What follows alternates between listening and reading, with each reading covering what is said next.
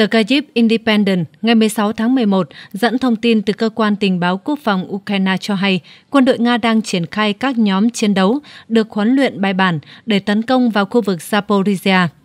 Tỉnh Zaporizhia ở phía đông nam Ukraine là một trong bốn tỉnh mà Nga tuyên bố đã sáp nhập vào tháng 9 năm 2022. Mặc dù lực lượng Ukraine vẫn kiểm soát khoảng 1 phần 3 tỉnh, bao gồm cả thủ phủ của khu vực. Được biết, Nga đã tăng cường các hoạt động quân sự ở khu vực này từ hồi đầu tháng 10 và đêm ngày 13 tháng 11 vừa qua, phía Ukraine cáo buộc Nga sử dụng bom dẫn đường, máy bay không người lái để không kích Zaporizhia, gây hư hại cơ sở hạ tầng ở khu vực. Theo thống đốc tỉnh Zaporizhia, Ivan Fedorov, bom dẫn đường do Nga phóng có thể bay đến thành phố trong vòng vài phút. Những quả bom này gần như không thể bị bắn hạ và Nga đang sản xuất chúng với số lượng lớn. Kyiv Independent dẫn lời ông Vladislav Volosin, phát ngôn viên của lực lượng phòng vệ miền Nam Ukraine, nêu quan điểm. Một trong những dấu hiệu cho thấy Nga chuẩn bị cho cuộc tấn công lớn ở Zaporizhia là việc nước này gia tăng từ 30 đến 40% các cuộc không kích trong những tuần gần đây. Theo phát ngôn viên, những cuộc tấn công này có thể tạo ra một điểm gây áp lực mới cho lực lượng phòng thủ quá tải của Kiev, vốn đã ở thế yếu trên mặt trận miền Đông. Nếu đạt được bước đột phá, Nga có thể sẽ khai hỏa vào các tuyến đường hậu cần nối Zaporizhia với phía đông Ukraine, ông Vladislav Volosin nói. Nhà phân tích Oleksandr Musenko, người đứng đầu Trung tâm Nghiên cứu Quân sự và Pháp lý của Ukraine cho biết, sau khi Nga di chuyển một phần lực lượng chiến đấu từ Zaporizhia đến khu vực Kursk, họ đã tập hợp và tổ chức lại các đơn vị. Hiện giờ, Nga đang điều quân tiếp viện đến đây với số lượng lớn chưa từng có. Theo giới chuyên gia, khả năng Nga tấn công quy mô lớn tại Zaporizhia thời gian tới là rất cao. Tấn công khu vực này sẽ khiến Kiev buộc phải rút bớt quân tại Kursk và không thể điều thêm lực lượng đến các hướng Pokrovsk và Kudakivka, nơi Nga đang nỗ lực tiến đánh và giành nhiều lợi thế. Nhà phân tích Oleksandr Musenko nhận định, xét về mặt quân sự, đối phương có ý định tiến hành một cuộc tấn công nghề bình kết hợp với các cuộc tấn công lớn có thể giúp họ đạt được thành công về mặt chiến thuật. Đây không phải là một cuộc tấn công chiến lược nhằm bao vây hoặc chiếm giữ Zaporizhia. Ông Musienko nhấn mạnh Nga dường như nhận thức được tình hình sẽ thay đổi khi ông Donald Trump chiến thắng trong cuộc bầu cử Mỹ và chuẩn bị trở lại Nhà Trắng. Do đó, họ muốn chuẩn bị một số lá bài nhất định để gia tăng lợi thế trong các cuộc đàm phán, sử dụng việc gây sức ép đối với Ukraine theo hướng Zaporizhia làm đòn bẩy. Hiện tại, giao tranh giữa Nga và Ukraine vẫn diễn ra ác liệt nhất tại mặt trận Kursk. Quân đội Ukraine cuối cùng đã tung vũ khí át chủ bài trên bộ đắt tiền nhất, xe tăng M1A1 Abrams do Mỹ sản xuất được bán với giá khoảng 5 triệu đô la Mỹ mỗi chiếc. Vào mặt trận này, như vậy, sau Leopard 2 của Đức, Challenger 2 của Anh, thì xe tăng Mỹ đã chính thức lan bánh trên chiến trường. Các nhà quan sát đánh giá, động thái trên đồng nghĩa với việc tình hình ở Kursk đã đến thời kỳ nguy cấp nhất, quân đội Ukraine phải sử dụng tất cả những vũ khí gì mà họ có trong tay. Trước đó, xe tăng Leopard của Đức hay xe tăng Challenger 2 của Anh cũng đã tham chiến ở mặt trận Kursk và cả hai đều bị tổn thất. Izen đưa tin, chính phủ Ukraine nhấn mạnh rằng Berlin phải đưa ra các quyết định cần thiết về việc cung cấp thêm vũ khí cho Kiev trước cuộc bầu cử sớm của Quốc hội Đức vào năm tới. Đại sứ Ukraine tại Đức Oleksiy Makeyev đã nói cần phải làm mọi thứ để đảm bảo thực hiện suôn sẻ những đơn đặt hàng đã lên kế hoạch và tài trợ cho các khoản viện trợ bổ sung trong năm mới. Nhà ngoại giao nhấn mạnh rằng Quốc hội Đức có khả năng đưa ra quyết định ngay cả sau khi liên minh sụp đổ và có thể chấp thuận cung cấp các gói vũ khí mới. Ông nhấn mạnh đa số đã và vẫn đứng về phía chúng tôi, một đa số dân chủ tuyệt đối. Trước khi chính phủ sụp đổ, Thủ tướng Đức Olaf Scholz đã thảo luận về việc phân bổ thêm 3 tỷ euro, tương đương 3,16 tỷ đô la Mỹ để hỗ trợ quân sự cho Ukraine. Các cuộc đàm phán đang diễn ra giữa các phe trong liên minh, Đảng Dân Chủ Xã hội và Đảng Xanh, phe đối lập. Bộ trưởng Ngoại giao Đức Anna-Lena Baerbock, đại diện cho Đảng Xanh, ủng hộ việc phê duyệt khoản viện trợ này. Cụ thể gói mới bao gồm 812 UAV do thám của Quantum trị giá 153 triệu euro mà Ukraine đã yêu cầu, nhưng yêu cầu này thậm chí còn chưa được Quốc hội phê chuẩn. Dự thảo ngân sách trước đó của Đức cho năm 2025 dự kiến viện trợ 4 tỷ euro, tương đương 4,22 tỷ đô la Mỹ cho Ukraine, bằng một nửa so với năm 2024. Vào tháng 9, có thông tin cho biết chính phủ Đức có kế hoạch chuyển một gói vũ khí khác cho Ukraine vào cuối năm trị giá 1,4 tỷ euro, tương đương 1,48 tỷ đô la Mỹ, mặc dù thực tế là ngân sách hỗ trợ quân sự cho Kiev phần lớn đã cạn kiệt.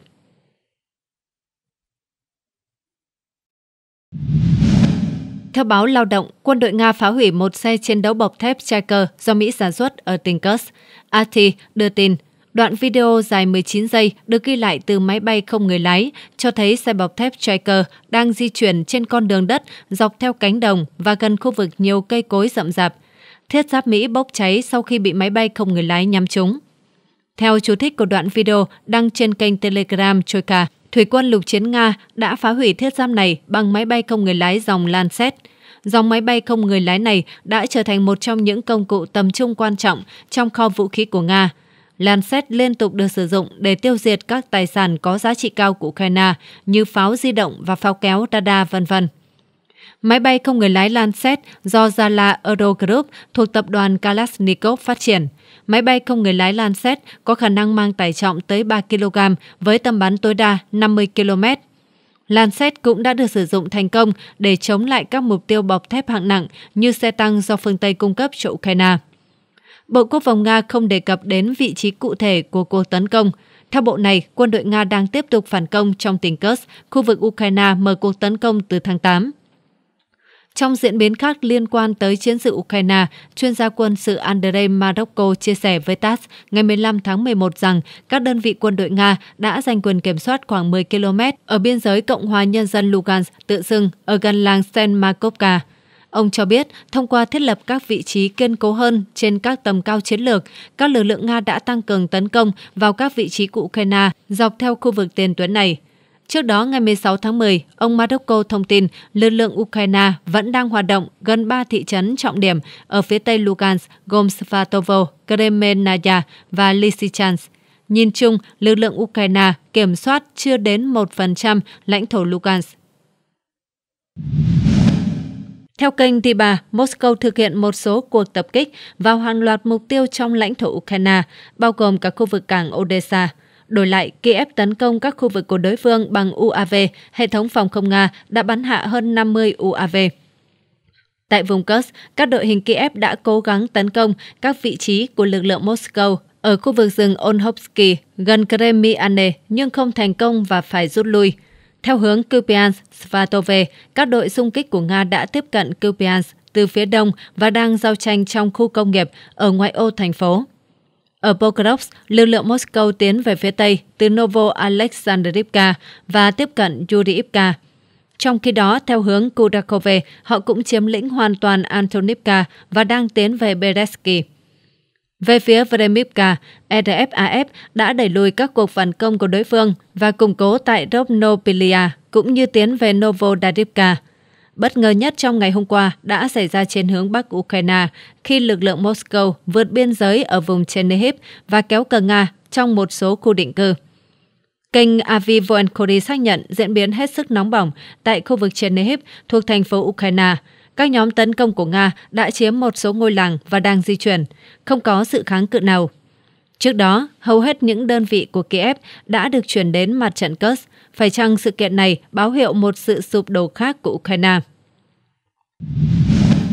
Ukrainska Pravda đưa tin báo cáo vào tối ngày 15 tháng 11 của Bộ Tổng tham mưu Ukraine cho biết đã có 157 cuộc giao tranh diễn ra. Số lượng trận chiến lớn nhất diễn ra ở hướng Pokrovsk và Kudakove, hoạt động trong vùng Kursk của Nga vẫn tiếp tục. Báo cáo có đoạn, Nga đã phóng một tên lửa và tiến hành 42 cuộc không kích với 69 bom KAB vào lãnh thổ Ukraine. Ngoài ra, họ sử dụng 689 UAV cảm tử và thực hiện hơn 3.800 cuộc pháo kích. Bộ Tổng tham mưu Ukraine xác nhận lực lượng phòng vệ đã cơ bản đẩy lùi các đợt xung phong của đối phương tại Kharkov, Kupiansk, Liman, Siversky, Toretsk, Vremovsky và Dnipro. Tại khu vực Kursk, lực lượng phòng vệ của chúng tôi đã đẩy lùi 21 cuộc tấn công của đối phương. Theo hướng Pokrovsk và Kudakove, kể từ đầu ngày, Nga đã tấn công lần lượt 35 và 34 lần. Theo các nhà phân tích thuộc kênh DeepSet, vào ngày 15 tháng 11, RFAF đã kiểm soát Maximovka thuộc Donetsk. Ngoài ra, báo cáo còn cho biết lực lượng Moscow đã tiến gần Berestovoye, Kleshcheyevka, Andreyevka, Novo Alexeyevka, Novoselidovka, Yelizavetovka, Tipnepol, Sonitsky, Kazakhstan và Novaya Ilinka. Không quân Ukraine cho biết tối ngày 15 tháng 11, Moscow đã triển khai nhiều nhóm UAV tập kích vào lãnh thổ Ukraine. Vào lúc 20 giờ 47 phút, một nhóm UAV Nga xuất phát từ khu vực Donetsk đang hướng đến Dnepropetrovsk. Từ 21 giờ 06 phút đến 23 giờ 41 phút, hàng loạt UAV khác được ghi nhận ở Sumy, Dnipropetrovsk, Kharkov, Cheson, Nikolaev, Mykolaiv, Odessa, Kirovograd và Poltava. Kênh Tiba cho biết lực lượng Moscow đã triển khai một loạt các cuộc tấn công cục bộ theo hướng Kurakove và đạt được nhiều thắng lợi đáng chú ý, đánh sập hàng loạt vị trí phòng thủ và khiến đối phương phải rút lui liên tiếp. Cụ thể, EDF-AF tiếp tục phát triển thành công của họ khi xuất hiện báo cáo về việc kiểm soát Vodnosenka và Novoselidivka. Mặc dù điều này vẫn chưa được xác nhận bằng video, nhưng xét theo cấu hình hiện thời của tuyến đầu, thông tin này có thể đúng. Sự tiến triển cũng đã được quan sát thấy trong làng Novoselidivka.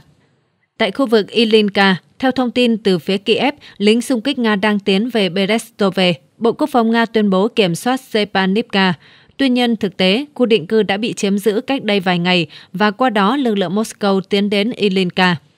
Thông tin chi tiết về tình hình Kurakove vẫn chưa có, nhưng các báo cáo từ hiện trường cho biết giao tranh dữ dội đang diễn ra ở vùng ngoại ô phía đông thành phố. Ở khu vực Daniel, vùng xám đã được mở rộng và xa hơn về phía đông. Vùng kiểm soát của RFAF đã được ghi nhận với cảnh quay về sự di chuyển của các nhóm thiết giáp Nga dưới hỏa lực của AFU. Quân đội Nga cũng đã giành được khu định cư Antonivka, dương cao lá cờ ở vùng ngoại ô phía Tây Bắc. Tình trạng của cứ điểm có tên gọi đặc trưng là Zopa nằm giữa Antonivka và Ilinka vẫn chưa rõ ràng. Có khả năng lực lượng Kiev cũng đã rút chạy khỏi các vị trí này. Vẫn còn câu hỏi về sự hiện diện của AFU ở phía đông bắc Antonivka. Một mặt, địa hình nằm trong một vòng bán nguyệt của các đơn vị Moscow tiến từ hướng Premoha, Heohivka và trung tâm Antonivka. Mặt khác, các đội hình Kiev thường giữ các vị trí phòng thủ, thậm chí còn kém thuận lợi hơn. Cùng lúc đó, RFAF cuối cùng đã chiếm giữ Maximivka, đẩy lùi đối phương ra khỏi làng và tiến ít nhất 2 km về phía bắc hướng tới Sukhiyali. Điều này cho thấy việc kiểm soát một khu vực rộng lớn giữa Novokranka và Bohoyalenka dọc theo đường cao tốc O0510. Theo trang tin Đời sống và Pháp luật, Bộ trưởng Quốc phòng Nga cho biết quân đội nước này đã thành công giành quyền kiểm soát đối với 5 khu định cư ở tỉnh Donetsk và khu vực Kharkov từ phía Ukraine trong tuần qua. Bộ Quốc phòng Nga tuyên bố nhờ các hành động phối hợp của nhóm tác chiến Zapat, khu định cư Kolesnikovka ở vùng Kharkov đã được kiểm soát. Lực lượng của nhóm tác chiến Tersen Balikrov tiếp tục tiến vào vòng tuyến của Ukraine và kiểm soát các khu định cư Vodnesenka Volchenka và Stepanovka tại Donetsk. Nhờ những hành động quyết đoán của nhóm chiến đấu Vostok, khu định cư Rovnopol tại Donetsk cũng đã được kiểm soát. Lực lượng Nga cũng đã thực hiện 42 cuộc tấn công quy mô lớn bằng vũ khí chính xác và máy bay không người lái cảm tử trong tuần qua, nhằm vào các doanh nghiệp công nghiệp quân sự của Ukraine, các cơ sở năng lượng được sử dụng để hỗ trợ lực lượng vũ trang Ukraine và cơ sở hạ tầng quân sự của đối phương – các cuộc không kích cũng nhắm vào các căn cứ huấn luyện tân binh, một trung tâm hậu cần, các điểm triển khai tạm thời của các đơn vị thuộc lực lượng vũ trang Ukraine, các nhóm dân tộc chủ nghĩa và lính đánh thuê nước ngoài chiến đấu cho Ukraine. Bên cạnh đó, Nga cũng đang tiếp tục tấn công và gây tổn thất đáng kể cho quân đội Ukraine. Chiến dịch tiêu diệt quân đội Ukraine xâm nhập vào vùng lãnh thổ biên giới Kursk vẫn đang được lực lượng vũ trang Nga tiến hành hiệu quả. Bộ Tổng tham mưu lực lượng vũ trang Ukraine mới đây cho biết Tổng cộng đã có 144 cuộc giao tranh diễn ra trên chiến trường trong ngày qua. Quân phòng thủ Ukraine đã đẩy lùi mọi cuộc tấn công của Nga vào mặt trận Kupiansk, với tình hình nóng nhất vẫn còn ở mặt trận Pokrovsk và Kudakhove. Cụ thể, trên mặt trận Kupiansk, theo thông tin cập nhật, quân Nga đã tiến hành 11 cuộc tấn công trong ngày qua. Lực lượng phòng vệ Ukraine đã ngăn chặn mọi cuộc tấn công của Nga gần các khu định cư Holubivka, Petropavlivka, Pichane, Hlutkivka, Zeleny Hay, Zarizove, Kluliakivka, Pesochaneve và Lozova. Trên mặt trận Pokrovsk, quân phòng thủ Ukraine đã đẩy lùi 24 cuộc tấn công do lực lượng Nga tiến hành với cường độ khác nhau gần các khu định cư Promin, Lysivka, Sukhia, Puskine, Zopte và Pusinka. Trên mặt trận Kudakove, lực lượng phòng thủ của Ukraine đã đẩy lùi các cuộc tấn công của Nga gần các khu định cư Beresky. Sonsivka, Ilinka, Novoselidivka, Zoria, Daniel và Konstantinivka, nơi quân Nga đã cố gắng đột phá qua hệ thống phòng thủ của Ukraine 37 lần. Trước đó, Tổng thống Volodymyr Zelensky cùng Bộ Tư lệnh tối cao Ukraine đã ra quyết định cải thiện mạng lưới phòng không của đất nước và tăng số lượng các nhóm hỏa lực cơ động để chống lại máy bay không người lái của Nga. Ông Zelensky cho hay, tôi đã tổ chức cuộc họp của Bộ Tư lệnh tối cao. Chúng tôi đã nghe báo cáo về việc tăng cường hơn nữa phòng không. Chúng tôi quyết định tăng số lượng các nhóm hỏa lực cơ động ở các khu vực là mục tiêu ưu tiên của Nga. Việc thực hiện các quyết định trước đây của Bộ Tư lệnh về việc chuẩn bị và trang bị tốt nhất cho lực lượng bộ binh cơ giới vẫn tiếp tục. Nhà lãnh đạo Ukraine tiết lộ thêm rằng ông cũng đã nghe một báo cáo chi tiết về tình hình ở tiền tuyến từ Tổng tư lệnh lực lượng vũ trang Oleksandr Sisky. Ông đồng thời công bố quyết định của Bộ Tư lệnh tối cao Ukraine nhằm tăng cường đáng kể khả năng quân sự ở các khu vực khó khăn nhất của tiền tuyến, bao gồm mặt trận Kudakove và Pokrovsk. Kênh Military Summary đưa tin tình hình Ukraine đang đến hồi căng thẳng. Tại thời điểm này, lực lượng Moscow đang trong chế độ tấn công toàn diện mọi mặt trận, ngoại trừ Kherson. Ở phía Bắc, quân đội Nga RFAF đã tiến vào khu vực Chernihiv và kiểm soát nhiều địa phương. Tình hình xung quanh Kupiansk đang leo thang với lực lượng Moscow tiến sâu hơn vào thành phố. Kudakove vẫn là mặt trận quan trọng nhất khi lực lượng Moscow cố gắng bao vây các đơn vị quân đội Ukraine AFU trong khu vực phía nam thành phố, khiến bảy ngôi làng có nguy cơ thất thủ. Căng thẳng cũng tăng cao tại mặt trận Velika Novosinka. EDF-AF đang có những bước tiến đáng kể ở sơn phía tây nam. Ngoài ra, lực lượng Moscow đã phát động một cuộc tấn công quy mô lớn vào mặt trận Zaporizhia tiến về phía Odekhov và huliipole Trong một diễn biến đáng chú ý ngày hôm nay, sau gần 3 năm, Thủ tướng Đức Olaf Scholz đã có cuộc điện đàm với Tổng thống Nga Vladimir Putin. Theo kênh Tidovka, khoa học quân sự cho rằng thời điểm quyết định số phận của một đầu cầu là ngày đầu tiên sau khi được tạo ra. Điều này trên thực tế đã được chứng minh bằng một cuộc trinh sát bất ngờ được phát triển thành một đòn đột phá của lực lượng Moscow vào Kupiansk mà họ đã tạo thành bàn đạp thực sự. Tuy nhiên, đây chỉ là phần mở đầu. Hiện đã có những bằng chứng đầu tiên ghi nhận bước tiến của RFAF.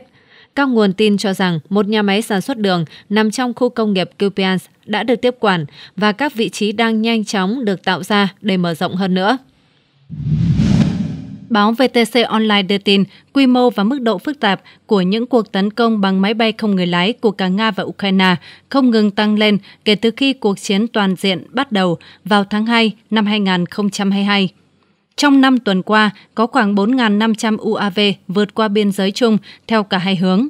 Sự gia tăng tần suất tấn công bằng UAV Shahid do Iran sản xuất vào các mục tiêu ở Ukraine của Moscow diễn ra trong bối cảnh ông Donald Trump vừa đắc cử trong cuộc bầu cử Tổng thống Mỹ.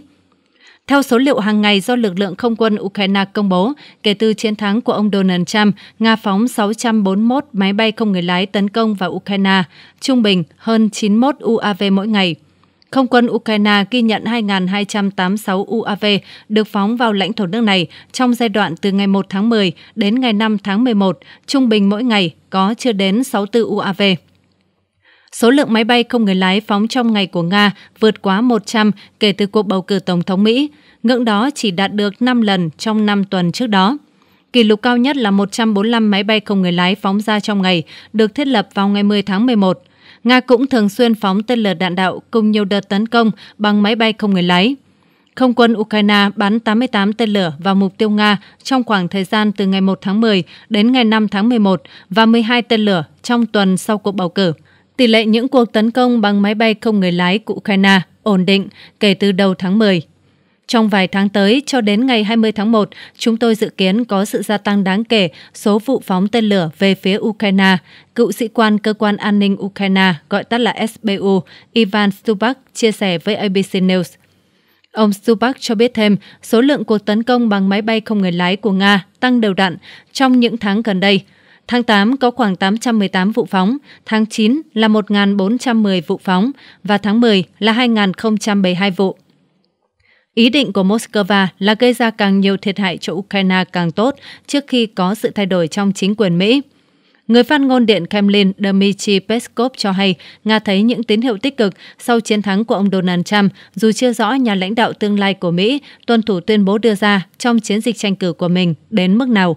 Điện Kremlin cũng ra tín hiệu không bắt đầu đàm phán với Ukraine về việc chấm dứt chiến tranh cho đến khi quân đội Ukraine rút khỏi Kursk. Kênh Military Summary đưa tin, quân đội Ukraine AFU tiếp tục phản công xung quanh Torres. Có báo cáo cho rằng lực lượng Kiev đã chiếm lại phần lớn Leonidivka. Ngược lại, quân đội Nga RFAF đã giành được những bước đột phá đáng kể trên các hướng Pokrovsk và Kupiansk. Ở Kurakhov, lực lượng Moscow đã kiểm soát được phần lớn phía đông thành phố. Bên cạnh đó, RFAF đã chính thức khống chế bằng hỏa lực đối với toàn bộ tuyến đường phía nam 00510, bóp nghẹt ít hầu tiếp vận của AFU. Theo hướng Uspenivka, quân đội Nga lại thành công. Mũi tiên phong đã áp sát rất gần Uspenivka.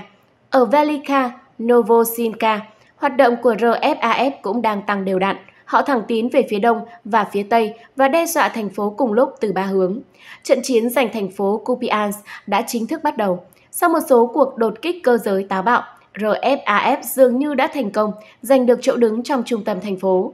Một khi giữ vững được bàn đạp quan trọng này, lực lượng Moscow hoàn toàn có thể phát triển ra xung quanh, mở rộng vùng kiểm soát. Có báo cáo về giao tranh xung quanh nhà máy đường. Đồng thời, RFAF đang tiến hành thêm nhiều cuộc tấn công nhỏ hơn trên khắp mặt trận để trói chân càng nhiều đơn vị đối phương càng tốt. Kênh Ridovka cho biết, lực lượng đổ bộ của Nga đã nhanh chóng đột nhập vào vùng ngoại ô phía đông Kupiansk, khiến Ukraine choáng váng, đánh dấu một bước ngoặt bất ngờ ở vùng Kharkov. Đội tiên phong của RFAF dưới hình thức một nhóm thiết giáp MTLB và xe chiến đấu bộ binh với sự yểm trợ của xe tăng, dưới sự bao phủ của bóng tối, đã thần tốc lao về phía trước 4 km, đột nhập vào khu công nghiệp Kupiansk ở bờ đông sông Oskol. Không lãng phí thời gian, nhóm đổ bộ và bắt đầu công việc củng cố chiến đấu và quân tiếp viện đã nhanh chóng lao về phía họ để tạo ra một bước đột phá toàn diện. Lực lượng Kiev được cho là choáng váng vì tốc độ tiến quân quá nhanh và bất ngờ của đối phương. Từ đầu cầu này, RFAF có thể phát triển sâu hơn vào trung tâm thành phố. Sự kiện này có thể coi là sự khởi đầu của chiến dịch tiến công giành quyền kiểm soát thành phố Kupiansk. Theo kênh Riba, sau một thời gian dài tạm lắng vào tháng 10 ở hướng Vremivka, mặt trận lại trở nên sôi động sau khi chiếm giữ Uleda, Vuleda và tiến về phía Zolotaniva, rồi đến Sakhatarske. RFAF đã hành động quyết liệt để loại bỏ một cách có hệ thống vành móng ngựa Vremivka tiến về phía Velika Novosinka từ nhiều hướng. Từ sườn phía đông, lực lượng Moscow đang dần tiến về một mặt trận rộng lớn trên trục Zolota Niva, Sakhotarske. Cuộc tấn công đang di chuyển dọc theo đường cao tốc 00510 dẫn đến Velika Novosinka và sông Kaslahek. Về phía nam, gần Novodonetsk, các đơn vị AFU riêng lẻ vẫn cố gắng bám trụ. Đồng thời giao tranh đã leo thang ở Makarivka, nơi RFAF đã cắm cờ trên một tòa nhà bị hư hại nghiêm trọng. Hiện tại, khoảng 1 phần 3 khu định cư nằm dưới sự kiểm soát của lực lượng Moscow. AFU đang cố gắng phản công nhằm ngăn chặn đối phương củng cố vị trí của họ. Thành công lớn nhất đã đạt được trên tuyến Levantne, Priutene. Đầu tiên, RFAF đã vượt qua khe núi Hrusovata ở phía tây nam Novodarivka. Họ đã chiếm lĩnh các vành đai rừng tiếp cận khu định cư Priyutne, khoảng cách chỉ còn chưa đầy 1 km nữa. Cùng lúc đó, các nhóm xung kích Nga đã phát triển về phía Rovnopin, một ngôi làng nhỏ chỉ có một con phố. Hiện tại, giao tranh vẫn tiếp diễn. Lực lượng Kiev đang triển khai các nhóm tăng viện đến ngôi làng, cố gắng ngăn chặn sự sụp đổ của hệ thống phòng thủ ở đây. Tuy nhiên, trước những thành công của RFAF, chính quyền Ukraine đã tuyên bố sơ tán một số khu định cư tiền tuyến. Đồng thời, lần đầu tiên theo hướng này, nỗ lực tấn công một chiếc Mi-24 của Ukraine bằng máy bay không người lái FPV của Nga đã được ghi lại, nhưng chiếc UAV này đã bị kẹt trong cánh quạt và không gây ra bất kỳ thiệt hại nào cho trực thăng đối phương. Kênh Riba đưa tin, lực lượng Moscow đã thực hiện một số cuộc tấn công hiệu quả vào lãnh thổ Ukraine. Tại vùng Poltava, Đám cháy đã bùng phát tại một cơ sở công nghiệp ở Hadiach và tại Sloviansk, một ký túc xá được sử dụng làm cứ điểm của AFU đã bị đánh trúng. Về hướng Kursk, RFAF đang tiến vào một số khu vực nhưng do thiếu cảnh quay kiểm soát khách quan nên rất khó để xác định chính xác cấu hình của tuyến đầu. Kênh Surya Maps mô tả chi tiết tình hình mặt trận Kursk. Theo đó, tại quận Korenevsky, RFAF đã chiếm lại hai làng, Olovka và Novaya Sorochina. Ngoài ra họ đã tiến về phía đông nam Novoivanovka để cố gắng bao vây Leonidovo. Hơn nữa, bản đồ đã được chỉnh sửa cho thấy sự hiện diện của AFU tại khu rừng phía nam Gremiano. Tại quận Suzansky, lực lượng Moscow tiến về phía nam và phía bắc Plekhovo, giành quyền kiểm soát một loạt các vị trí tại biên giới với Sumy, đồng thời tiến đến sông Reka Susta. Mặt khác, các cuộc ném bom gần đây cho thấy AFU vẫn kiểm soát Trekhaskaya, Konopelka cũng như các nhà kho phía đông nam Komakov. Phóng viên chiến trường Alexander Kost cho biết lực lượng Kiev ở Kurakhov đang bên bờ sụp đổ, buộc phải tháo chạy hỗn loạn. Các đơn vị Moscow đã tiến về phía Sukhi Yali, dọn sạch lãnh thổ giữa Novokranka và Bohoya Lenska. Hiện tại lực lượng Moscow có thể bao vây không chỉ Kurakhov mà còn quay chặt hầu như toàn bộ nhóm AFU ở phía nam Donetsk. Không phải ngẫu nhiên mà RFAF mở rộng sườn phía nam. Theo đó, họ không chỉ tiến về phía thành phố mà còn cố gắng tiến từ phía tây, cắt đứt huyết mạch tiếp vận và cũng là đường rút lui của đối phương. Các đơn vị Nga đã giành được chỗ đứng ở vùng ngoại ô phía đông thành phố và đang tấn công hồ chứa nước Kurakhov từ phía bắc. Không có gì ngạc nhiên khi lực lượng Kiev cho nổ tung con đập để làm chậm bước tiến của đối phương và ngăn RFAF tiếp cận vùng đất trống. Nước đã tràn vào các con đường công cộng và giờ đây việc di chuyển về phía tây Kurakhov bằng xe cộ trở nên khó khăn hơn. Cũng như ở Uleda hay Selidov, Bộ Chỉ huy Kiev không vội ra lệnh rút quân, nhưng vào thời điểm mấu chốt, hầu hết các đơn vị đã quyết định tự rút lui để bảo toàn lực lượng. Hiện tại, ngày càng xuất hiện nhiều dấu hiệu rõ rệt cho thấy AFU ở Kurakhov sẽ sớm tháo chạy. Kênh Ziarhiv cho biết, chi tiết, lực lượng Moscow đã nắm quyền kiểm soát khu dân cư phát triển ở Dani. Đối phương vẫn đang cố gắng kháng cự tại trang trại. Các nhóm xung kích của RFAF cũng đang tiến dọc theo phòng tuyến Antonovka, Danie và gần Maximovka. Tại khu vực Danie, Uspenovka, lực lượng Kiev đang bị bao vây. Một cuộc đột phá của RFAF từ phía Bắc, Dani và phía Nam, Uspenovka sẽ đóng túi trước nguy cơ đã cận kề. Các đơn vị AFU tiếp tục tháo chạy để tránh bị bao vây. Trên trục Novodarovka, Rovnopol tại biên giới Zaporizhia và Donetsk, lực lượng Moscow tiến vào giữa các khu dân cư và bắt đầu tấn công Novodarovka. Đến thời điểm này, các nhóm tiên phong của lực lượng Nga chỉ còn cách khu vực Dnepropetrovsk 7 đến 8 km. Tại mặt trận Pokrovsk, trên khu vực Grigorovka, Petrovka, Ukraine thừa nhận rằng họ đã mất quyền kiểm soát phần phía bắc cuối cùng của các ngôi làng. Nếu mọi thứ được xác nhận, thì đây sẽ là một bước đột phá rất quan trọng của RFAF ở Pokrovsk. Báo điện tử VOV đưa tin quân đội Ukraine đang rút khỏi thành phố Kudakove ở DPA và một số ngôi làng lân cận do thiếu hụt nghiêm trọng về nhân sự, đạn dược và tinh thần chiến đấu xa sút một xạ thủ Nga trong đội vận hành pháo phản lực BM-21 Grad tiết lộ. Những nỗ lực của Ukraine nhằm tiếp tế đạn dược, nhân lực và trang thiết bị đang bị dập tắt bằng hỏa lực dồn dập. Binh lính thuộc nhóm tác chiến Yaku này cho hay Kudakove đóng vai trò giống như chốt chặn trong hệ thống phòng thủ Ukraine trong khu vực vì thành phố này chỉ cách Donetsk khoảng 46 km. Việc chiếm được Kudakove sẽ mở đường cho quân đội Nga tới Pokrovsk, một trung tâm hậu cần quan trọng của chính quyền Kiev. Các lực lượng của Nga đã tiến về Kudakove từ nhiều hướng với mục đích bao vây nơi này, trong khi quân đội Ukraine cố thủ ở đó không thể giữ vững các vị trí của mình. Khi lực lượng vũ trang Nga tiến về trung tâm đường sắt Pokrovsk, họ cũng có vẻ đang chuẩn bị cho một cuộc tấn công mới ở khu vực Zaporizhia. Washington Post dẫn lời quân đội Ukraine cho hay, tờ báo này cho biết sau khi thường xuyên thả bom lượn và các loại thuốc nổ xuống các cánh đồng để xác định min và vị trí của Ukraine trong suốt mùa hè, các lực lượng của Nga hiện đang tăng cường các cuộc tấn công bộ binh và UAV. Trung tá Anatoly Matvichuk, một chuyên gia quân sự Nga, trước đây đã nói với Sputnik rằng việc lực lượng Nga chiếm được Kudakove sẽ gây ra vấn đề lớn cho quân đội của chính quyền Kiev. Ông nhấn mạnh rằng Kudakove đóng vai trò quan trọng đối với Kiev về mặt kinh tế vì đây là nơi duy nhất do Ukraine kiểm soát, sản xuất than cốc. Dạng sáng 15 tháng 11, các nhà phân tích thuộc kênh Deep State đã cập nhật bản đồ, lưu ý rằng RFAF đã chiếm ngôi làng Rivne ở vùng Donetsk, nơi trước đó đã được lực lượng phòng vệ giành lại.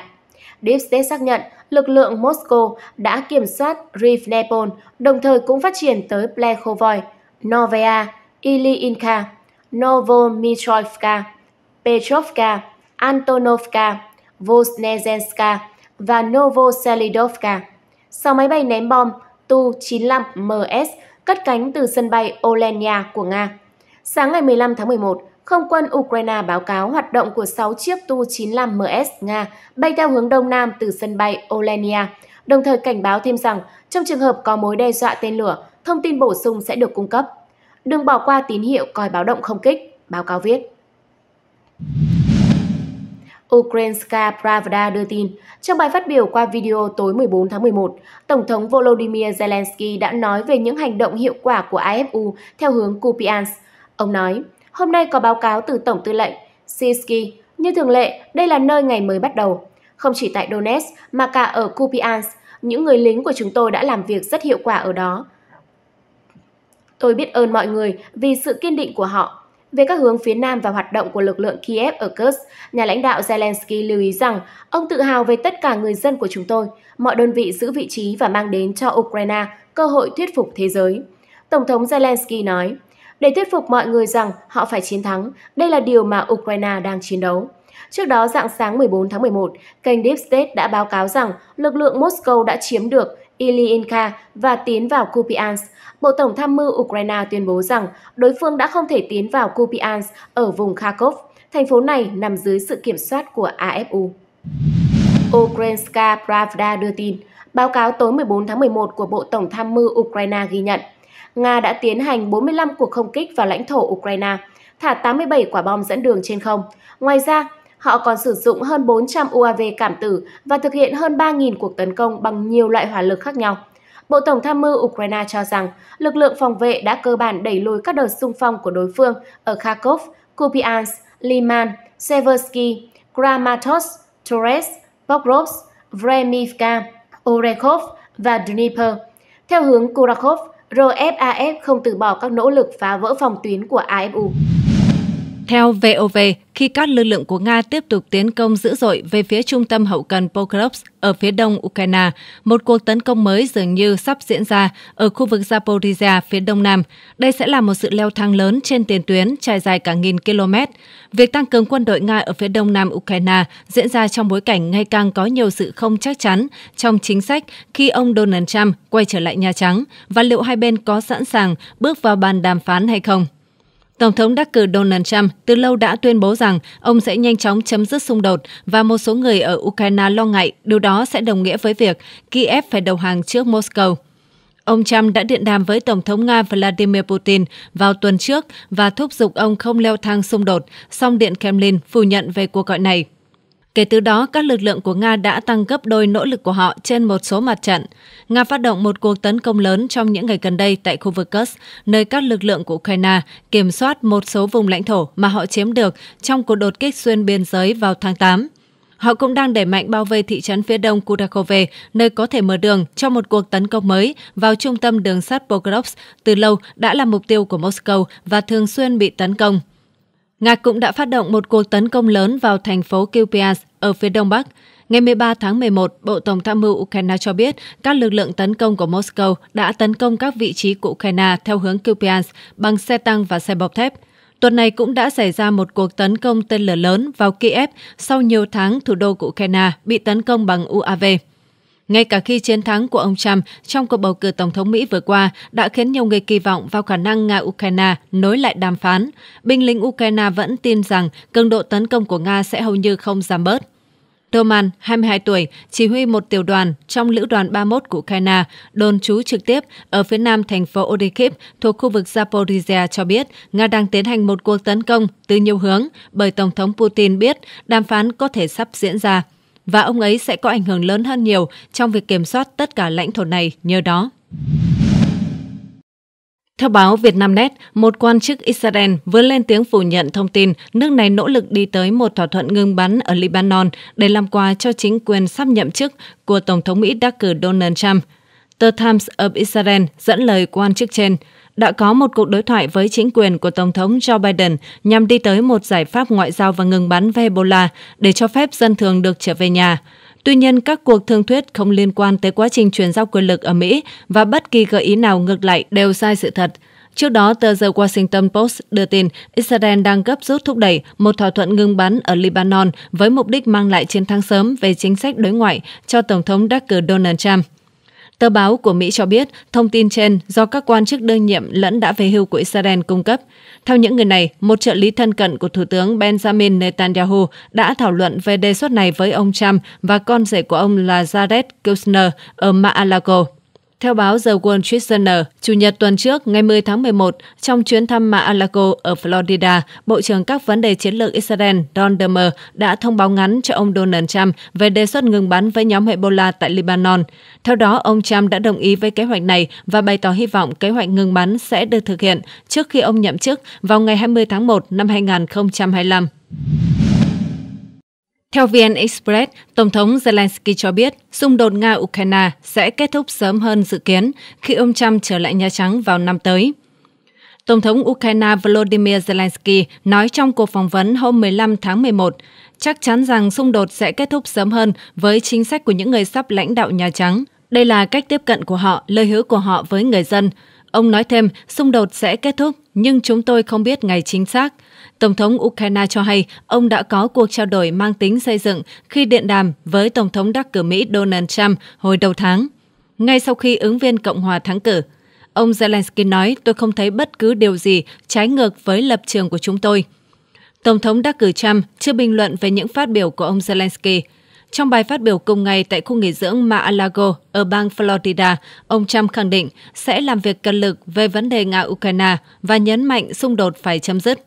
Ông Trump từng nhiều lần phản đối viện trợ quân sự của Mỹ dành cho Ukraine, cho rằng Washington đang phải ký sách trắng cho Kiev. Trong chiến dịch tranh cử, ông cũng liên tục tuyên bố sẽ kết thúc xung đột Nga-Ukraine trong 24 giờ, nhưng chưa nêu kế hoạch cụ thể. Tổng thống đắc cử Mỹ dự kiến nhậm chức vào ngày 20 tháng 1 năm 2025. Những phát biểu của ông Trump gần đây khiến nhiều người lo ngại chính quyền mới của Mỹ sẽ thúc đẩy thỏa thuận yêu cầu Ukraine nhượng lãnh thổ cho Nga để đổi lấy hòa bình lực lượng Nga đang tiến quân với tốc độ nhanh nhất kể từ tháng 3 năm 2022, thời điểm nước này rút quân khỏi thủ đô Kiev và miền Bắc Ukraine.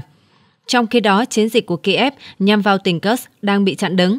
Các đơn vị Ukraine cũng hứng chịu nhiều tổn thất nghiêm trọng và mất nhiều khí tài đắt tiền do phương Tây viện trợ. Hãng thông tấn TASS dẫn thông tin từ Bộ Quốc phòng Nga cho biết các đơn vị của nhóm chiến đấu phía Bắc tiếp tục tấn công và đánh vào các đội hình của quân Ukraine ở khu vực các khu định cư Dadiino, Leonidovo, Malaya Loknia, Marievka, Nikolayevo, Dadiino và Plekovo thuộc vùng Kursk. Các cuộc không kích của máy bay quân đội và pháo binh Nga đã gây thiệt hại cho nhiều nhóm nhân sự và thiết bị của Ukraine tại vùng Kursk lực lượng máy bay chiến thuật và tên lửa Nga tấn công vào các khu vực tập trung và dự trữ của đối phương ở vùng Sumy. Chiến dịch phá hủy lực lượng của Ukraine đang diễn ra mạnh mẽ. Chỉ tính riêng trong ngày 15 tháng 11, Ukraine đã mất hơn 100 quân nhân, một xe tăng, một xe chiến đấu bọc thép, 4 xe cơ giới, hai khẩu pháo D-30 122mm, một khẩu cối và một trạm tác chiến điện tử. Kể từ khi Nga bắt đầu giao tranh ở vùng Kursk, Ukraine đã mất hơn 32.680 quân, 213 xe tăng, 136 xe chiến đấu bộ binh, 112 xe bọc thép chở quân, 1.166 xe chiến đấu bọc thép, 944 xe cơ giới, 283 đơn vị pháo binh, 40 hệ thống tên lửa phóng loạt, bao gồm 11 HIMARS và 6 MLRS do Mỹ sản xuất, 12 bệ phóng tên lửa phòng không, 7 xe nạp đạn, 64 trạm tác chiến điện tử, 13 radar phản pháo, 4 radar phòng không, 27 đơn vị kỹ thuật và thiết bị khác, bao gồm 13 xe dọn chướng ngại vật, một xe giả phá bom mìn UR-77, 6 xe sửa chữa và phục hồi bọc thép và một xe chỉ huy và tham mưu. Ngoài ra, TASS cũng dẫn lời một tù binh Ukraine có tên là Alexander Rapoliuk cho biết một nhóm quân nhân Ukraine chiến đấu ở vùng Kursk của Nga đã quyết định đầu hàng sau khi biết rằng lực lượng đối phương đã kiểm soát 5 vị trí của họ cùng một lúc. Chúng tôi đầu hàng mà không chiến đấu và đợi đến sáng ngày hôm sau. Chúng tôi nghe nói rằng lực lượng của đối phương đã chiếm được 5 vị trí của chúng tôi, hầu như không có thương vong, chỉ có một người bị thương nhẹ. Vậy là hết. Toàn bộ trung đội của chúng tôi đã bị đẩy lùi, tù binh Ukraine cho biết trong một video được đăng tải. Tù binh Ukraine nói thêm rằng ban đầu họ được triển khai đến tỉnh Kursk với lý do thay thế các đồng đội đang chiến đấu ở đó. Tuy nhiên khi đến nơi, họ phát hiện ra rằng những quân nhân mà họ thay thế đã không còn sống sót. Trong tuần này, Tổng tư lệnh lực lượng vũ trang Ukraine Oleksandr Sisky đã đến thăm các đơn vị Ukraine được triển khai tới mặt trận Kursk. Tại đây, ông đã thảo luận với các chỉ huy địa phương về các hoạt động chiến đấu và cách nhắm mục tiêu tốt hơn vào lực lượng Nga. Ông Sisky thừa nhận tầm quan trọng của khu vực hoạt động này không thể bị đánh giá thấp khi xét đến số lượng quân nhân được Nga triển khai. Vì vậy, chuyến thăm của ông nhằm mục đích giúp các chỉ huy lập kế hoạch tác chiến, cải thiện hiệu quả tấn công, đồng thời giải quyết các vấn đề về cung ứng và huấn luyện. Ukraine Farm dẫn lời ông Viktor Krapsov, đại diện của lữ đoàn Bukovina số 82 của Ukraine, ngày 13 tháng 11 cho biết do giao tranh ác liệt và tổn thất khá lớn, quân đội Nga đã điều sư đoàn tấn công đường không số 76 tới khu vực Kursk để tăng cường các hoạt động tấn công tại đây. Ở một mức độ nào đó, đối phương tập trung nỗ lực vào khu vực Kursk, triển khai thêm nhiều đơn vị mới về đây. Do tổn thất lớn, Nga đã triển khai sư đoàn tấn công dù số 76 ở đó để khôi phục khả năng tấn công. Đối phương vẫn đặt mục tiêu đánh bật lực lượng Ukraine khỏi Kursk càng sớm càng tốt. Chúng ta vẫn ở thế phòng thủ, ông Krapsov nói. Ông cho biết thêm, Ukraine liên tục phá hủy các thiết bị quân sự do Nga tích trữ ở tiền tuyến. Trên thực tế, người Nga đã tích lũy thiết bị quân sự, nhưng chỉ ngày hôm kia, 35 hoặc 37 thiết bị của họ đã bị phá hủy. Vì vậy, lữ đoàn của chúng ta đã thực hiện đúng chiến thuật và một số lượng lớn trang thiết bị đã bị phá hủy, ông Krapsov nói. Khi được hỏi giao tranh ở khu vực Kursk hiện ảnh hưởng như thế nào đến tình hình ở tiền tuyến Ukraine, ông Krapsov cho biết điều này giúp làm giảm áp lực cho quân đội Ukraine ở chiến tuyến miền Đông.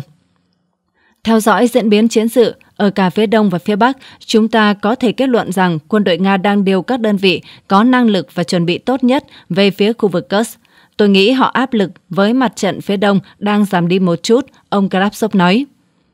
Ukraine mở chiến dịch tấn công vào tỉnh biên giới Kursk của Nga từ ngày 6 tháng 8. Chiến dịch Kursk diễn ra sau khi tình báo Ukraine nhận được thông tin rằng Nga chuẩn bị mở một cuộc tấn công theo hướng Kursk đến vùng Sumy của Ukraine để lập một vùng đệm an ninh. Quyết định của Kiev tấn công vào Kursk vừa để ngăn chặn nỗ lực trên của Moscow, vừa nhằm buộc Nga phải chuyển hướng nguồn lực, giảm sức ép cho lực lượng phòng thủ ở mặt trận miền Đông.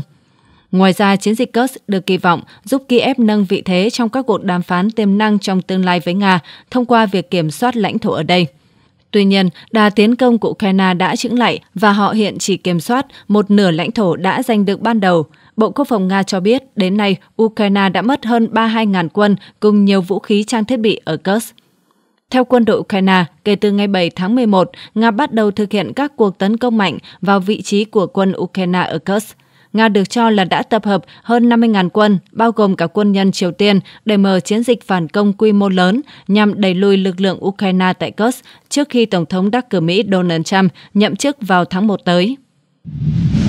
Chí, Lữ đoàn Bộ binh cơ giới số 72 Ukraine phòng thủ cụm cứ điểm Upleda có biên chế tới 17 tiểu đoàn nhưng đã không thể cầm cự trước đòn tấn công mãnh liệt của cụm quân Vostok – hơn một tháng trước, quân đội Nga RFAF sau khi hạ gục lữ đoàn bộ binh cơ giới số 72, sau đây gọi tắt là lữ đoàn 72 của Ukraine, đã chiếm thành phố pháo đài Upleda, Vuleda.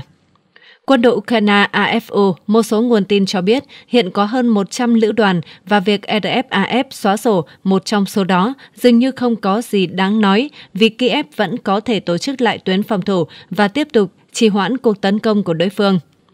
Tuy nhiên, tình hình chiến đấu năm đó rõ ràng không lạc quan như vậy, bởi kể từ khi lực lượng cơ động thuộc cụm quân phía đông, còn gọi là nhóm Vostok của quân đội Nga, bắt đầu tấn công vào cuối tháng 10, Kiev đã mất 3 thị trấn, quy mô dân số hơn 1.000 dân mỗi nơi trước chiến tranh, và hai làng nhỏ chỉ trong nửa tháng.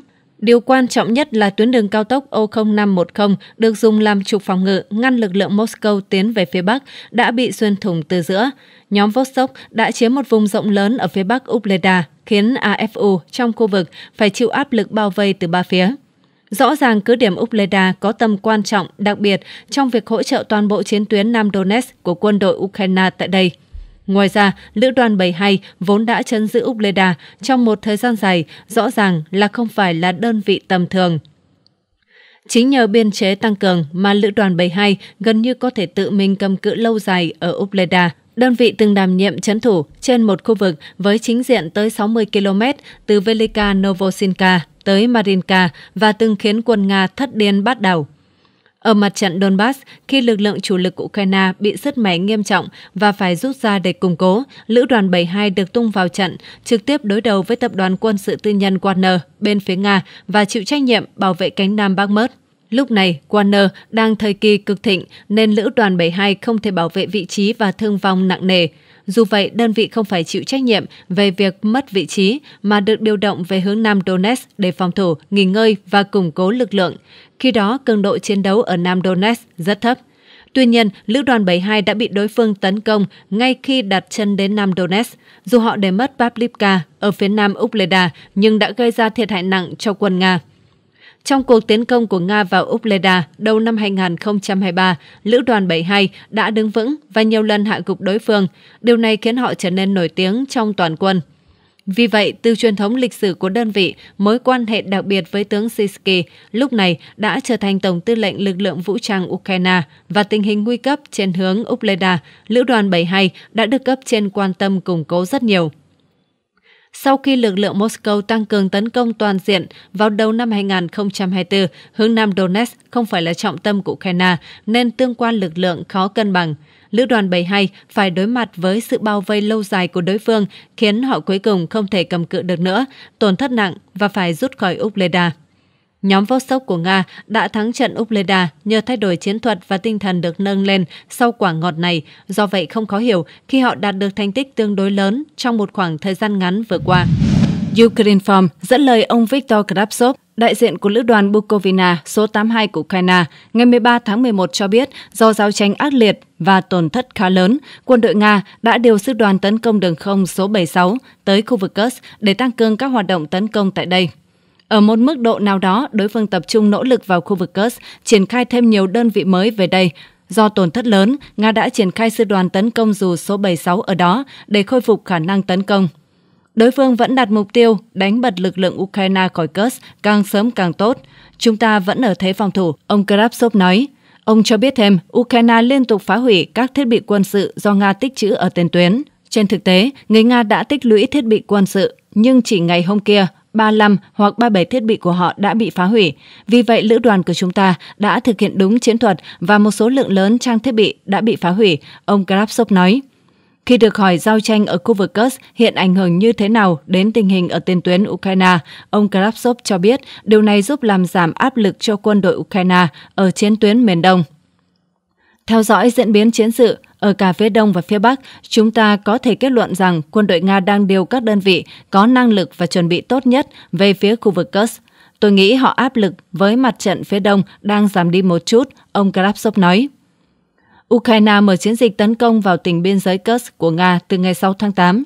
Chiến dịch Kursk diễn ra sau khi tình báo Ukraine nhận được thông tin rằng Nga chuẩn bị mở một cuộc tấn công theo hướng Kursk đến vùng Sumy của Ukraine để lập một vùng đệm an ninh. Quyết định của Kiev tấn công vào Kursk vừa để ngăn chặn nỗ lực trên của Moscow, vừa nhằm buộc Nga phải chuyển hướng nguồn lực, giảm sức ép cho lực lượng phòng thủ ở mặt trận miền Đông. Ngoài ra, chiến dịch Kursk được kỳ vọng giúp Kiev nâng vị thế trong các cuộc đàm phán tiềm năng trong tương lai với Nga thông qua việc kiểm soát lãnh thổ ở đây. Tuy nhiên, đà tiến công của Ukraine đã chững lại và họ hiện chỉ kiểm soát một nửa lãnh thổ đã giành được ban đầu. Bộ Quốc phòng Nga cho biết đến nay Ukraine đã mất hơn 32.000 quân cùng nhiều vũ khí trang thiết bị ở Kursk. Theo quân đội Ukraine, kể từ ngày 7 tháng 11, Nga bắt đầu thực hiện các cuộc tấn công mạnh vào vị trí của quân Ukraine ở Kursk.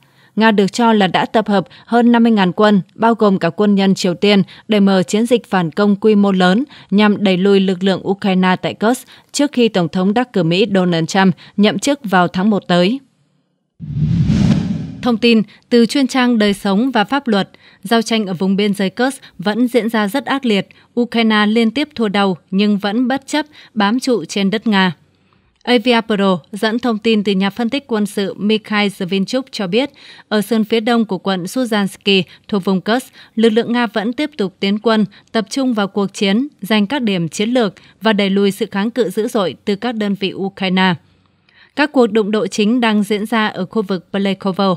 Cùng lúc đó, giao tranh dữ dội đang diễn ra ở làng Novaya Sorochina, nơi quân đội Nga đang cố gắng củng cố vị trí của họ ở điểm quan trọng bất chấp các cuộc phản công bằng máy bay không người lái và pháo binh từ lực lượng vũ trang Ukraine. Cuộc tấn công của các đơn vị Nga theo hướng này bắt đầu bằng một cuộc đột phá phòng thủ, nhưng sau thành công ban đầu, tốc độ tiến công chậm lại đôi chút. Phía tây nam của khu vực, các nỗ lực tiến công từ Novoy và Novka về phía Leonidovo đã được thực hiện, nhưng Ukraine vẫn tiếp tục kháng cự, làm phức tạp thêm nhiệm vụ của các đơn vị Nga. Tình hình cũng leo thang tại các quận Korenevsky và Suzansky, nơi lực lượng vũ trang Nga tiến hành các hoạt động tấn công ở phía Kremianoye. Cuộc tấn công hướng đến Novaya Sorochina và theo các nguồn tin, các vành đai rừng ở khu vực này có thể đã nằm dưới sự kiểm soát một phần của quân đội Nga.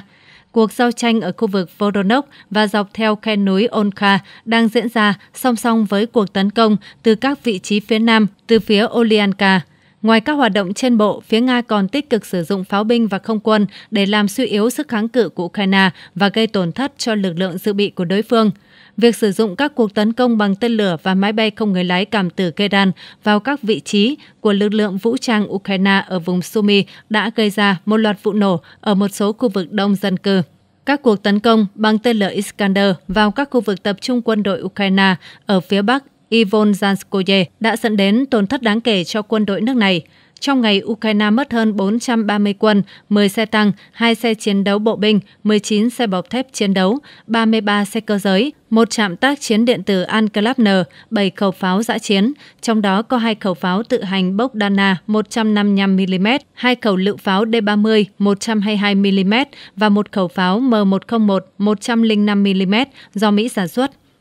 Kể từ khi bắt đầu giao tranh ở vùng Kursk, Ukraine đã mất hơn 32.580 quân, 212 xe tăng, 136 xe chiến đấu bộ binh, 112 xe bọc thép chở quân, 1.165 xe chiến đấu bọc thép, 940 xe cơ giới, 281 khẩu pháo và 40 bệ phóng tên lửa đa nòng, bao gồm 11 hệ thống HIMARS và 6 hệ thống MLRS do Mỹ sản xuất.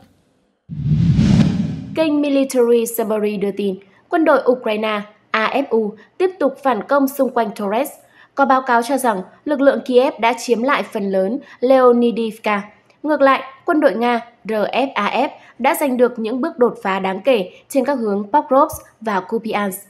Ở Kurakhov, lực lượng Moscow đã kiểm soát được phần lớn phía đông thành phố. Bên cạnh đó, RFAF đã chính thức khống chế bằng hỏa lực đối với toàn bộ tuyến đường phía nam 00510, bóp nghẹt ít hầu tiếp vận của AFU. Theo hướng Uspenivka, quân đội Nga lại thành công. Mũi tiên phong đã áp sát rất gần Uspenivka. Ở Velika, Novosinka, hoạt động của RFAF cũng đang tăng đều đặn. Họ thẳng tiến về phía đông và phía tây và đe dọa thành phố cùng lúc từ ba hướng. Trận chiến giành thành phố Kupiansk đã chính thức bắt đầu. Sau một số cuộc đột kích cơ giới táo bạo, RFAF dường như đã thành công giành được chỗ đứng trong trung tâm thành phố. Một khi giữ vững được bàn đạp quan trọng này, lực lượng Moscow hoàn toàn có thể phát triển ra xung quanh, mở rộng vùng kiểm soát. Có báo cáo về giao tranh xung quanh nhà máy đường. Đồng thời, RFAF đang tiến hành thêm nhiều cuộc tấn công nhỏ hơn trên khắp mặt trận để trói chân càng nhiều đơn vị đối phương càng tốt. Kênh Ridovka cho biết, lực lượng đổ bộ của Nga đã nhanh chóng đột nhập vào vùng ngoại ô phía đông Kupiansk, khiến Ukraine choáng váng, đánh dấu một bước ngoặt bất ngờ ở vùng Kharkov đội tiên phong của RFAF dưới hình thức một nhóm thiết giáp MTLB và xe chiến đấu bộ binh với sự yểm trợ của xe tăng dưới sự bao phủ của bóng tối đã thần tốc lao về phía trước 4 km, đột nhập vào khu công nghiệp Kupians ở bờ đông sông Oskol. Không lãng phí thời gian, nhóm đổ bộ và bắt đầu công việc củng cố chiến đấu và quân tiếp viện đã nhanh chóng lao về phía họ để tạo ra một bước đột phá toàn diện. Lực lượng Kiev được cho là choáng váng vì tốc độ tiến quân quá nhanh và bất ngờ của đối phương. Từ đầu cầu này, RFAF có thể phát triển sâu hơn vào trung tâm thành phố. Sự kiện này có thể coi là sự khởi đầu của chiến dịch tiến công giành quyền kiểm soát thành phố Kupiansk. Theo báo Vietnamnet, các thành viên châu Âu của NATO ngày càng tin rằng xung đột Nga-Ukraine sẽ kết thúc bằng đàm phán và Kiev có thể phải nhượng bộ về lãnh thổ. Tờ Washington Post hôm 13 tháng 11 đưa tin một số quốc gia châu Âu đang trải qua sự thay đổi thầm lặng nhưng ngày càng tăng để hướng tới một lệnh ngừng bắn giữa Nga và Ukraine. Theo đó, Nga sẽ giữ một số lãnh thổ đang kiểm soát ở Ukraine, còn Kiev sẽ nhận được một số cam kết đảm bảo an ninh. Cũng theo Washington Post, các cuộc thảo luận kín ngày càng tăng khi quân đội Ukraine không tạo ra được sự đột phá trong quá trình xung đột với Nga và khả năng Mỹ cắt viện trợ cho Kiev vào thời điểm Tổng thống đắc cử Donald Trump nhậm chức vào tháng 1 năm 2025. Các nhà ngoại giao EU và NATO cũng cho biết, dù vẫn công khai ủng hộ Kiev, nhưng một số quốc gia đang tìm cách đặt nền móng cho các cuộc đàm phán hòa bình. Một trong những ý kiến được đưa ra là để Nga giữ các vùng lãnh thổ mà nước này đang kiểm soát ở Ukraine, trong khi Kiev sẽ có lực lượng gìn giữ hòa bình của phương Tây hoặc các đảm bảo an ninh khác, nhưng không phải là tư cách thành viên NATO. Hiện tại không ai biết ông Trump sẽ đề xuất điều gì sau khi tuyên thệ nhậm chức, còn chính quyền của Tổng thống đương nhiệm Joe Biden đang vội vã cung cấp càng nhiều viện trợ quân sự càng tốt cho Ukraine. Trong khi đó, Tổng thống Ukraine Volodymyr Zelensky đã nhiều lần từ chối mọi đề xuất nhượng bộ lãnh thổ để đàm phán hòa bình với Nga. Vào đầu năm nay, Moscow đã đưa ra các điều khoản chấm dứt xung đột, bao gồm việc Kiev rút quân khỏi tất cả các khu vực đã bỏ phiếu sáp nhập vào lãnh thổ Nga, cũng như duy trì sự trung lập về quân sự và chính trị. Thông tin từ báo Vietnamnet, các chiến đấu cơ Israel đã tấn công nhiều địa điểm của nhóm vũ trang Hezbollah ở Beirut sau khi Israel cảnh báo người dân Lebanon sinh sống gần mục tiêu không kích đi sơ tán. Theo tờ Times of Israel, đoạn video được truyền thông Lebanon chia sẻ cho thấy một trong những cuộc không kích của Israel diễn ra gần sân bay quốc tế Beirut, giữa lúc một chiếc máy bay chở khách được nhìn thấy đang lăn bánh ở phía sau. Lực lượng phòng vệ Israel IDF xác nhận trong đêm ngày 13 tháng 11 và sáng ngày 14 tháng 11, các cuộc không kích đã nhắm vào nhiều trung tâm chỉ huy, kho vũ khí và cơ sở hạ tầng của Hezbollah. IDF nhấn mạnh hơn 30 địa điểm của Hezbollah ở vùng ngoại ô Dahiye đã bị tấn công trong hai ngày qua. IDF nói thêm các địa điểm này nằm ở trung tâm của một nhóm dân thường và cáo buộc Hezbollah cố ý dùng người vô tội làm lá chắn sống. IDF cũng đã ban hành lệnh sơ tán cho dân thường ở Lebanon ở gần hai tòa nhà thuộc vùng ngoại ô phía nam Beirut vào chiều ngày 14 tháng 11 trước khi tiến hành không kích phá hủy tài sản của Hezbollah. Đại tá Arichay Adrae, phát ngôn viên của IDF, đã công bố bản đồ cùng với thông báo kêu gọi dân thường tránh xa các địa điểm bị tấn công ít nhất 500 mét.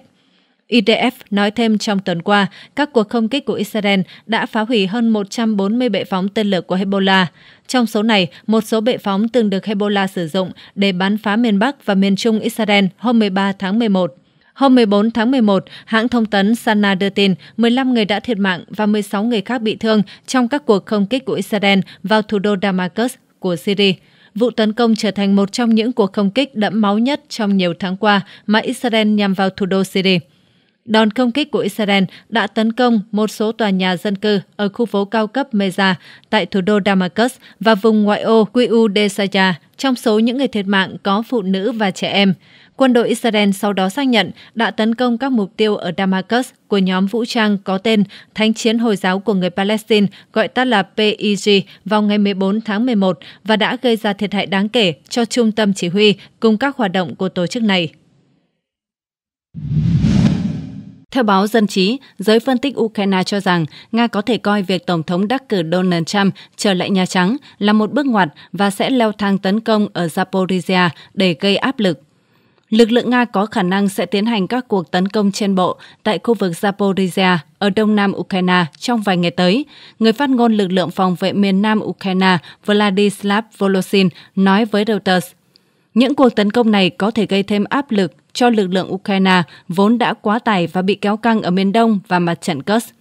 Điểm yếu thiếu nhân lực của Ukraine có thể trở nên nghiêm trọng nếu họ phải dàn lực lượng ra quá mỏng ở các mặt trận. Ông nói thêm, lưu ý rằng quân đội Nga đông hơn nhiều so với quân đội Ukraine trong khu vực. Các cuộc tấn công có thể bắt đầu sớm, thậm chí không thể tính bằng tuần, mà có thể là bất cứ ngày nào. Ông Volosin cũng trích dẫn dữ liệu tình báo của Ukraine cho thấy Nga dường như có kế hoạch sử dụng xe bọc thép và một số lượng lớn máy bay không người lái trong cuộc tấn công. Ông cho biết số lượng các cuộc không kích của Nga tăng lên trong những tuần gần đây, tăng 30-40%, cũng cho thấy sự chuẩn bị cho trận đánh lớn.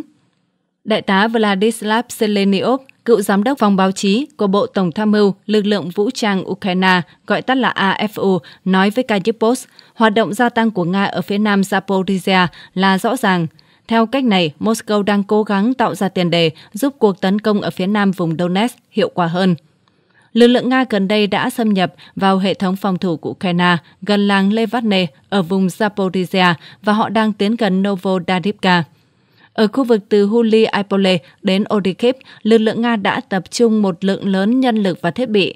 Ngoài ra, các cuộc đột kích của các nhóm trinh sát Nga đã trở nên thường xuyên hơn ở khu vực này. ABC Ukraine trích dẫn các nguồn tin cho biết rằng các hướng tấn công tiềm năng bao gồm Huli Ipole, Orikip và Kamskanje.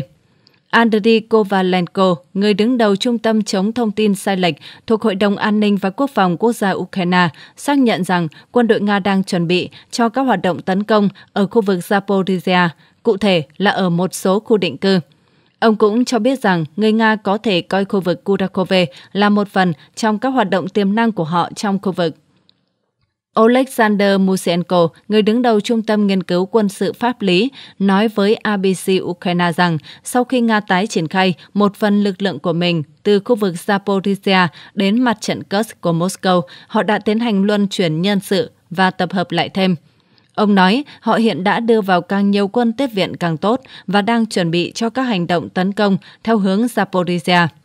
Ông Musienko cho rằng động thái này có thể nhằm mục đích kéo căng lực lượng phòng vệ Ukraine, buộc Kiev đưa quân ra khỏi khu vực Kursk và ngăn chặn việc chuyển thêm lực lượng tới các khu vực Pokrovsk và Kudakove. Đại tá Zeleniov nhận định lực lượng Nga có thể đang cố gắng bảo đảm các vị trí có lợi hơn ở khu vực Zaporizhia. Ông cho biết Tôi nghĩ những gì chúng ta đang chứng kiến hiện nay ở khu vực Zaporizhia là động thái nhằm cải thiện vị trí chiến thuật của quân đội Nga và củng cố hành lang trên bộ đang kết nối khu vực Donetsk với bán đảo Crimea. Vào ngày 12 tháng 11, Economist đưa tin rằng Nga đang chuẩn bị cho một cuộc tấn công vào Zaporizhia, thủ phủ của vùng cùng tên, đồng thời là trung tâm công nghiệp quan trọng trong khu vực. Ông Musienko bình luận, xét về mặt quân sự, Điện Kremlin dường như đang lên kế hoạch cho một cuộc tấn công đánh lạc hướng, kết hợp với các hành động tấn công có thể đạt được những lợi ích chiến thuật hạn chế. Các chuyên gia hoài nghi về khả năng Nga dồn một lực lượng quá lớn để tấn công Zaporizhia, trong khi họ vẫn đang duy trì đà tiến ở các khu vực khác. Tuy nhiên, chuyên gia Musienko thừa nhận rằng rủi ro vẫn còn nghiêm trọng. Theo ông, mục tiêu hiện tại của Nga là đánh giá các tuyến phòng thủ của Ukraine, tìm kiếm các điểm yếu và tiếp tục các nỗ lực tiến lên. Ông cho biết người Nga có thể coi sự kiện ông Donald Trump trở lại Nhà Trắng là một bước ngoặt và đang tìm cách gây sức ép lên Ukraine, đặc biệt là thông qua leo thang ở khu vực Zaporizhia. Ông Seleniov nhận xét quân đội Nga đang hoạt động tích cực ở khu vực Kudakove và Pokrovsk, đồng thời cố gắng đẩy lực lượng Ukraine ra khỏi khu vực Kursk. Vào ngày ông Trump nhậm chức, Nga muốn tạo ra một số điều kiện thuận lợi cho mình trong bất kỳ cuộc đàm phán nào với chính phủ Mỹ, ông nói với Kyiv Post.